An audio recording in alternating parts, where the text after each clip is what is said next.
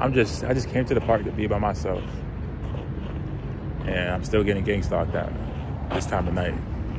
Like it's nighttime. Like it's like 11 or something. I'm sitting down. This guy's like walking around everywhere, and then he just sits next to me and just watch me or something. I get up, and then he gets up. Like I just want to be by myself sometimes. I don't know if that's so hard to ask For people watching me just staring at me.